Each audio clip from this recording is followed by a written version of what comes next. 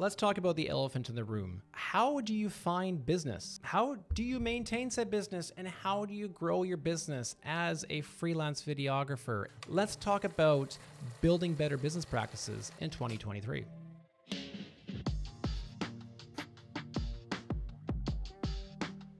There are a million ways to talk about how to build a better business, and there are many different ideas and even channels dedicated on this particular topic. But as videographers in this particular freelance market and also current market that we're living in, it's always good to level up your game. To, to give yourself a roadmap, a guideline, a structure of what to follow when it comes to looking for work and maintaining accounts, providing client experience, and providing editing experience so you get more work. Let's just delve in and talk about my strategies that I use with Coffee Shop Film and Creative. So, right off the bat, and number one, focus on your existing clientele basis or your, your existing client sector. Now, this is a really important one because as filmmakers and as creatives, we all want to try working in a multitude of different ideas and different formats and with different subjects. We might want to work in films, we might want to work with car commercials or, or travel videos or even product videography. But if that's not in the sector where you've had most of your success, it's potentially not a good place to focus all your efforts in. Focus your efforts initially in your sector that you know. So with me, I have had a lot of experience working in the arts because I'm an opera singer. So I've worked with orchestras and I've worked with choirs and I've worked with opera companies to create engaging content. And, and from there, I've grown my client base to work with many leading artists and arts organizations all across this country. Now, this is something that I've also become known for because when it comes to finding videography or finding film projects in the arts, since those said clients and said organizations have worked with me, it provides a starting basis for where new clients and new organizations might look for creating film work or creating video work. Challenge yourself to approach new companies in the sector that you've worked in and showcase the work that you've done. Now, of course, that's making a reel and providing film examples or even social media portfolios, let's just say, of existing work, but it allows the company that you're approaching to get an idea of what they can expect if they hire you and your team for that particular project. And on that topic, reach out. Now, clients aren't going to come to you. You have to go to them. There are so many freelance videographers out there and so many filmmakers out there nowadays that you know, you can't just expect the work to come to you based on a website or social media or portfolio, etc. You have to do the groundwork. You have to knock on doors. You have to say hello. You have to send emails. You have to send newsletters, set up coffee appointments, and ultimately start the business for yourself. Reach out because even if the client says no, it still engages that, you know, creative drive within you to go to the next possible engagement. Always challenge yourself to continually find new opportunities.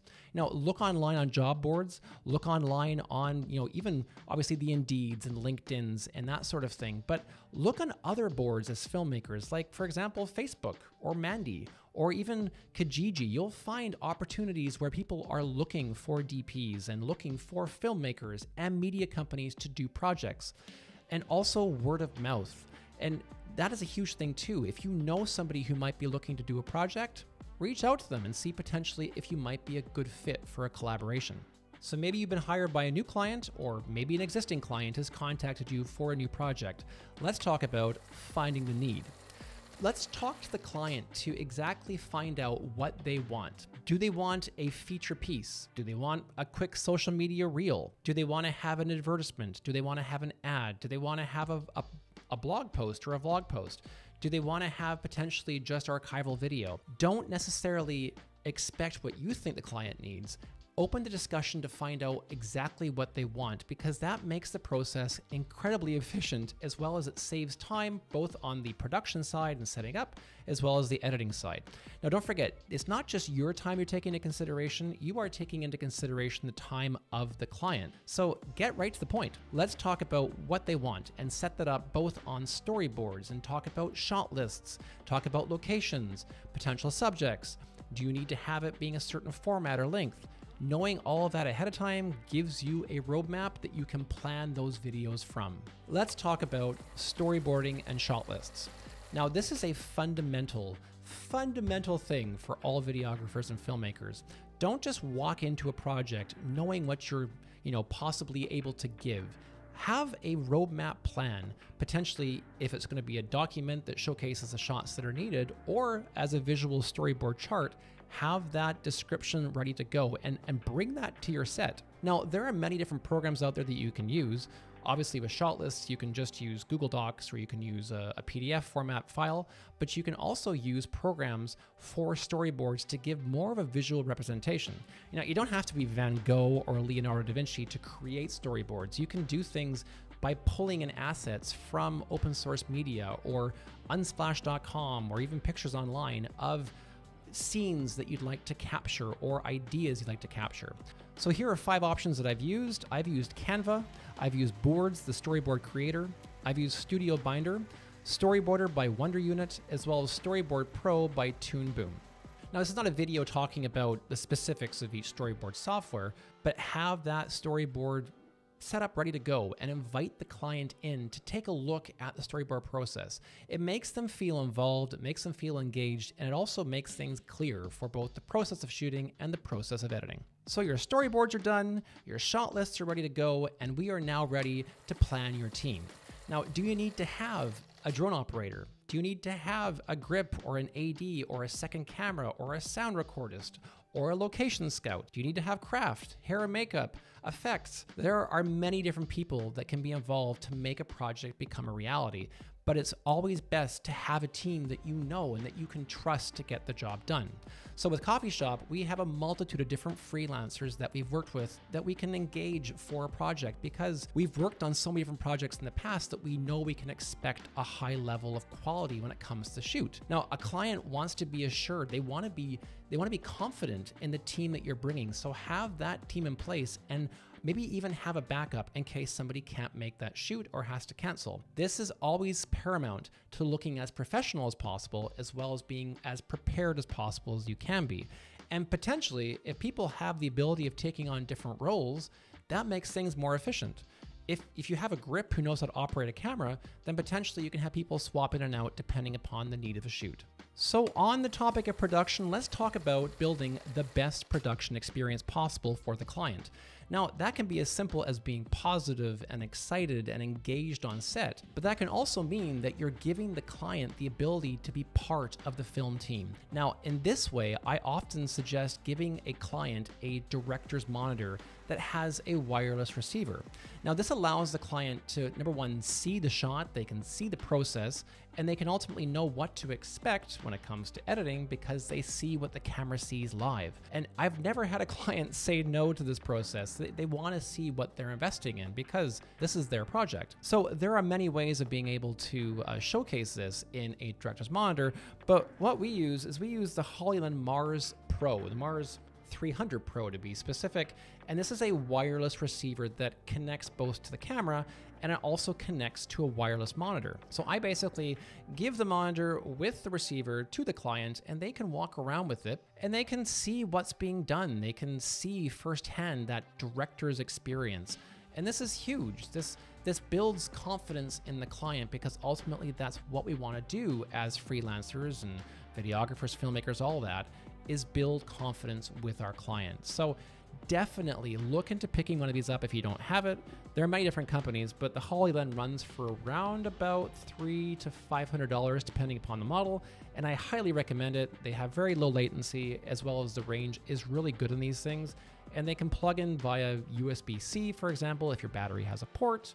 You can also plug it in with a Sony NP battery series. So many different ways of powering these little things, but they're small, they're lightweight, they're durable.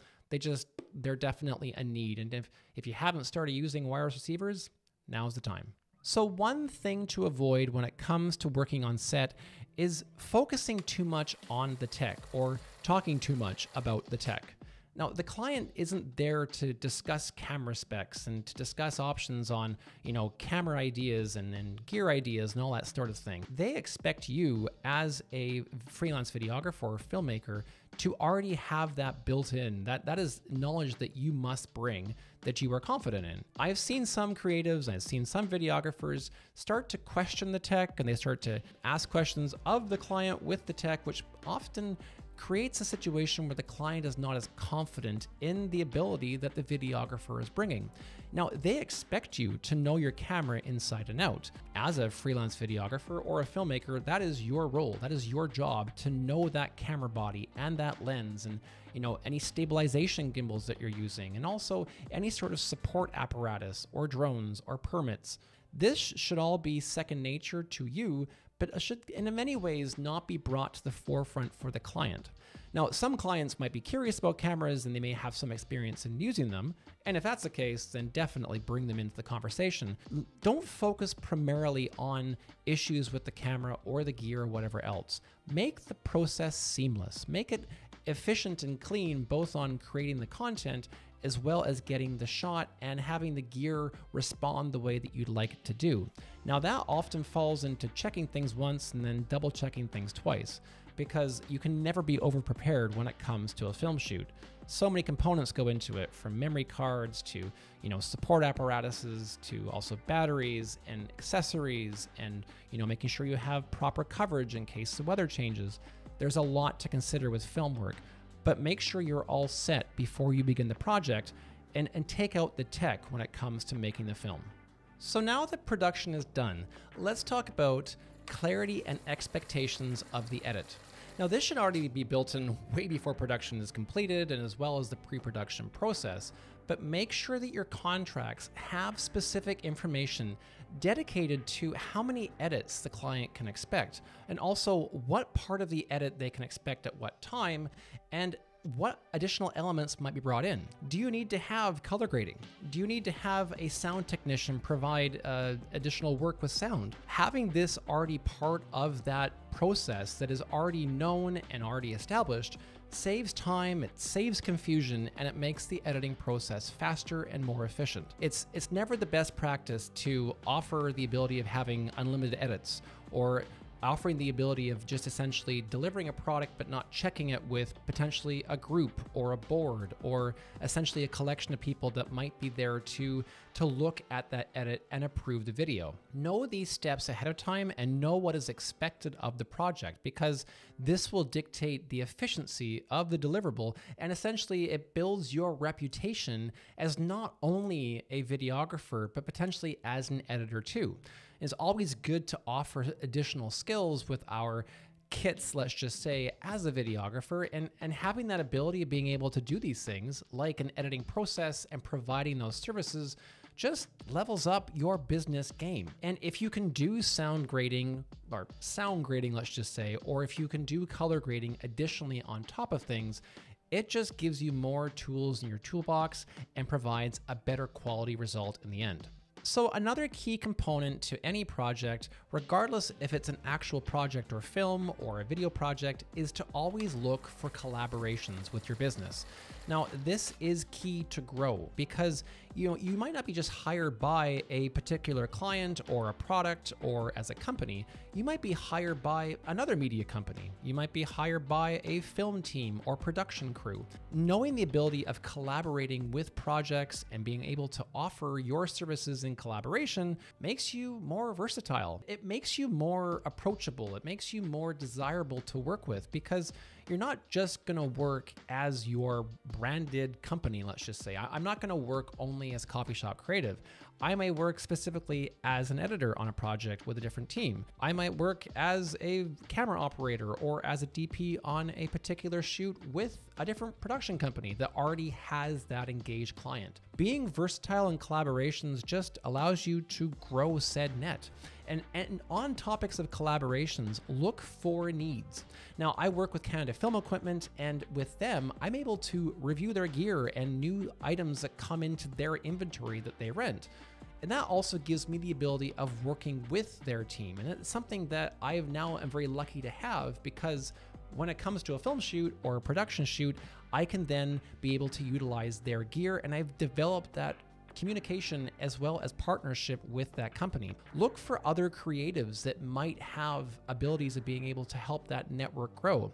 Find creatives and reach out to them and engage with them on on teams and on shoots and on ideas and on gear and, and all these sorts of things to allow you to grow as a videographer and as a filmmaker. And finally, last but not least, don't get lazy. Now, this is a big one. It's very easy to do a project and then just take a break and walk away from it. It's always best to make sure you constantly try to to level up your impressions to prospective clients or even your existing clients. Make sure you have content dedicated to maybe specific areas of shooting. Do you want to have a drone reel? Do you want to have a film reel?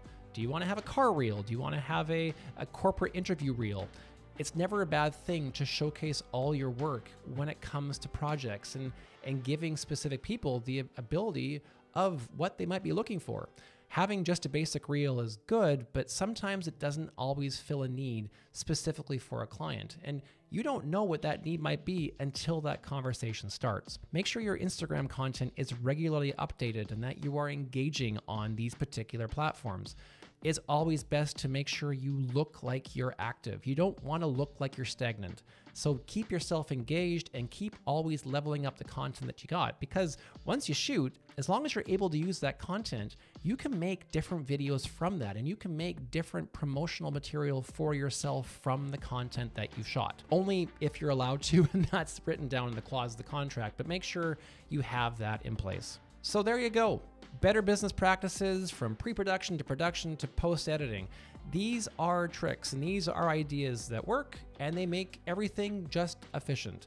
So, when it comes to making your business and your growth as an entrepreneur or as a freelancer in the new year, utilize these tricks and utilize these tips to, to make it as like a guidebook for yourself on the next project. If you found this helpful, drop a line below and hit up that subscribe button for more information. And stay tuned for more ideas on how you can grow as a filmmaker and as a videographer in the new year. Peace.